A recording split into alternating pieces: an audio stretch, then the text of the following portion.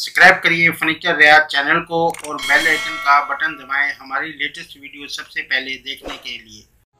Welcome to furniture रियाज दोस्तों, channel में आपका स्वागत है। दोस्तों, आज हम आपको बताएँगे कि छड़ वाला कब्जा किस तरीके से लगता है। जिनसे नए मेरे कारपेंटर भाई इस लाइन में नए आए पुराने भाइयों को तो पता, फिर वो गुस्से हो जाते हैं क्या हमें तो मामूली सा कब्जा दिखा रहा है। तो दोस्तों जैसे नए कारपेंटर भाई आते हैं, ये हमने ड्रेसिंग टेबल का पल्ला बनाया है। तो हमने दोस्तों, इसमें जो था, बॉर्डर तीन इंची का दिया है और पीछे की तरफ़ जो हमने पीछे दिया, ढाई इंची के ग्रिल दिया है। ये मैं दोस्तों आपको दिखाता हूँ इस पल्ले को कैसे फिट किया जाता है। दोस्तों, हमने तो सिक्स एम की प्लाई लगाई है क्योंकि पहले ही हमने इसका जितना ये मोटा कब्जा था, उतना हमने इसको बोर्ड को पहले पीछे कर लिया है। जो से नए हैं, देखो दोस्तों, इसके दोस्तों, ये अपना प्लस थ्री रंधा होता है, जिसके ज़रिए हम इसके अंदर पताम निकालते हैं।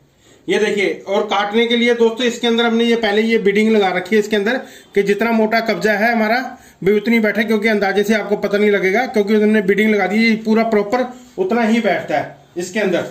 और दोस्तों इसको हम लगाने का तरीका ये है, ये जो ये हमने बैक वाली प्लाई है, ज़्यादा से ज़्यादा हमारी या तीन एम mm के करीब या चार एम mm से ज़्यादा नहीं होनी चाहिए। अगर मोटी होगी तो आपका पल्ला बैक मारेगा। तो इसके अंदर हमने आधी पोनी का कब्जा इस्तेमाल किया, छड़ वाले जो कब्जे होते हैं, पताम वाले जिसमें लगाते हैं जैसे 22 एम mm का कब्जा है तो आपका ये पोनी 19 एम mm का भी चल जाएगा। ये हमारे पास था 19 एम mm का, इसके अंदर ये ये वाला भी कब्जा चल जाना था।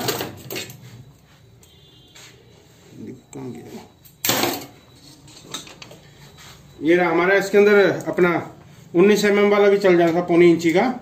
ये भी है क्योंकि बोर्ड है जो बाईस एम mm का है। अगर बोर्ड पतला होता, फिर हमने अगर बोर्ड में ही हम निकालते हैं, क्योंकि हमने ऊपर से एक्स्ट्रा इसमें दो सूत की प्लाई लगाई है तो हमने प्लाई में से पताम निकाला तो यानी कि अगर उन्नीस एम का बोर्ड भी होगा तो भी आपका ये वाला चल जाएगा। तो दोस्तों, इसी तरीके से आप इसको ये देखना। ये जो सी इसकी पीछे की बैक है, कई कई कारपेंटर भाई क्या करते हैं कि इसको लगा के सरमैका आगे की तरफ़ बढ़ा देते हैं सरमैका प्लेन कर देते हैं। भी इसका ये प्लाई का हक नहीं छोड़ते। क्योंकि दोस्तों, उसमें ये होता है, जब तक आपका पल्ला ऊपर टंगेगा नहीं ना, जब तक आपको डरी रहेगा, यार इसका कहीं कोना ना टूट जाए। क्योंकि कोना टूट गया, फिर उसका कोई इलाज ही नहीं है। मैंने कई जगह देखा कारपेंटर भाइयों ने सिर्फ़ सरमैका बढ़ा देते, इसके अंदर पताम नहीं निकालते। भाई, इसमें टाइम लगता है। क्योंकि दोस्तों, अच्छे काम के लिए थोड़ा सा टाइम तो लगेगा, इसके अंदर पताम निकालिए आप। अब मैं आपको पल्ला दिखाता हूँ, ये वाला। ये देखिए दोस्तों। ये देखिए, ये हमने फिट कर लिया ड्रेसिंग टेबल का।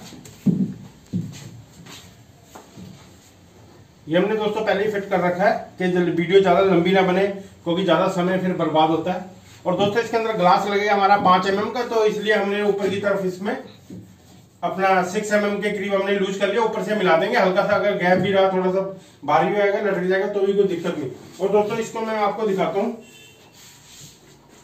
इसके अंदर इसके अंदर जो सी हमने प्लाई लगाई है सिक्स एम की प्लाई लगाई है। एक एक इंची एक इंची एक सूत की है एक, एक इंची की भी आप ले सकते हो। तो उसी मुताबिक हमने, आपने ये पीछे कर लेना है, डेढ़ दो इंची के करीब आपने पीछे करना और दोस्तों, इसका प्रोसीजर ये होता है छोड़ने का। अगर तो आपने इसके बिल्कुल पैरलर पल्ला करना है तो आप इसको ढाई सूत लो।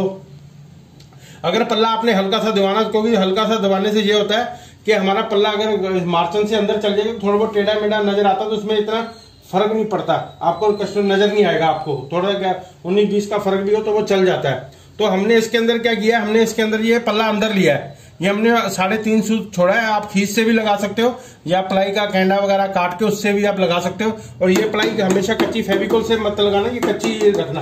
कभी इसको फेविकोल लगा दो। तो एक इंची की और ये सिक्स एम की प्लाई है। अब हम आपको पल्ला टांग के दिखाते हैं तो इसमें कैसे लगता है।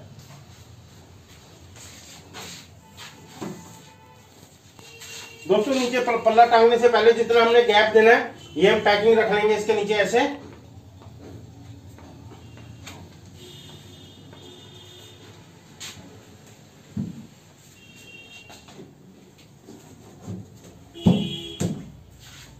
ये देखिए दोस्तों, इसके अंदर हम पेज कस देंगे सुम्बी मार के पेज कस देंगे इसके अंदर। पहले इसको कच्चा कर लेंगे, उसके बाद देखेंगे इसमें कितना आता है। दोस्तों, इसी तरीके से हम अपने सारे पेज कस लेंगे।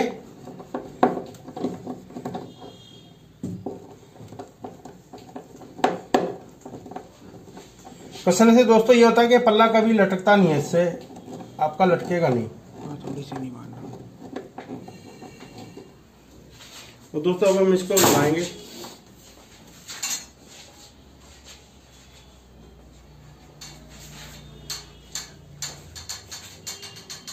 दोस्तों, इधर से देखो, कैमरे में आपको नज़र आएगा, वो देखो, अभी ये फाइनल ये देखो। वो देखिए, हल्का सा पल्ला हमने अंदर कर दिया है कि थोड़ा बहुत अगर टेढ़ा मेढ़ा भी होगा उन्नीस बीस का फ़र्क चल जाता है। ये देखिए, ये हमने अंदर किया पल्ला हल्का था कि ऊपर नहीं किया, बिल्कुल फेस हमने इसके बराबर नहीं किया।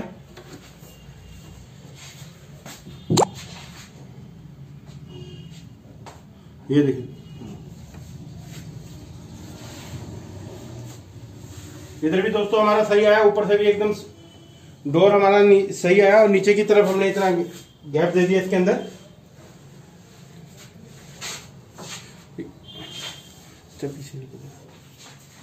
अच्छा दोस्तों, एक चीज़ मैं और आपको बताना चाहता हूँ। कल मैंने वीडियो सी डाली थी दराज के ऊपर भी दराज कैसे बनाया जाता है। तो कई कारपेंटर भाइयों का नयो का कमेंट आया कि दराज आपने ठल छोटी रखी, लटक जाएगी। वो दोस्तों, इस प्रकार मैं आपको दिखाता हूँ। ये देखिए।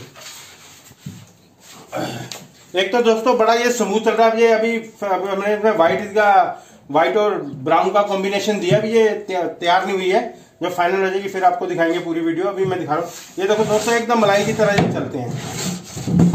और जो सा कारपेंटर भाई ने पूछा था, दराज लटकता है, ये देखो मैंने बाहर लगा दिया है, ये लटक नहीं रहा। दोस्तों, इसको आप जितनी मर्ज़ी आप छोटी भी कर लोगे ना, इसको ये अभी अभी तो मैंने आधी इंची इसमें गैप दे रखा है। अगर इसको एक इंची भी करोगे तो भी नहीं तो भी ये लटकेगा नहीं। इसका प्रोसीजर क्या है, ये देखो, मैं दिखाता हूँ आपको। ये देखिए दोस्तों, जितना ये हमने एक इंची का गैप दिया है तो आप इसको सात सूत का गुटका लगा सकते हो, क्योंकि एक इंची के नीचे इसमें वो भी चाल भी चाहिए, दराज आराम से चल जाए। तो ऐसे आप गुटका लगा सकते हो, इससे आपका दराज कभी लटकेगा नहीं। ये आपका दराज कभी लटकेगा नहीं। हमने एक इंची ऊपर से, जैसे आपने एक इंची लूज किया है तो सात सूत का गुटका लगा लो तो इससे क्या होगा, एक सूत नीचे का गैप भी मिल जाएगा, दराज बड़े आराम से चलेगा। अच्छा दोस्तों, एक कारपेंटर भाइयों ने यह भी पूछा था कि इसके अंदर हम चैनल फिट कर सकते हैं। दोस्तों, जैसे हमने ये अपना चार एम का गैप छोड़ा तो आप इसमें आधी इंची का भी छोड़ सकते हो। तो इसमें चैनल भी फिट हो जाएँगे ओवरलैप दराज में चैनल भी फिट हो जाएँगे। ये देखिए मैं आपको डाल के दिखाता हूँ।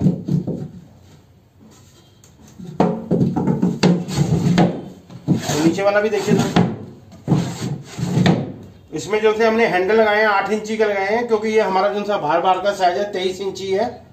क्योंकि और दोस्तों, ये भी तो और स्मूथ चलेगा, अभी तो हमने इसमें कुछ किया नहीं फाइनल में आपको पूरी दिखाएँगे। और इसी इसी तरीके हमने इसमें भी ऐसे किया है। हमने दो ड्रेसिंग टेबल बनाई है। इसके अंदर भी दोस्तों ऐसे किया। और दराज बिल्कुल, कभी भी आप जैसे दराज का मत्था फिट करो तो उन्नीस बीस का फ़र्क हो तो आगे से आप रंधा मार के इसको एकदम बराबर कर लो, क्योंकि बाद में दोस्तों कुछ नहीं हो पाएगा।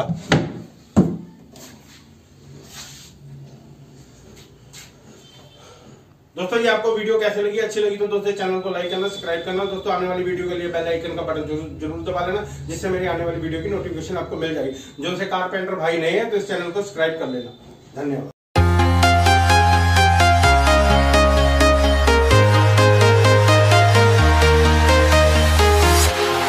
Walking alone, the streets are empty.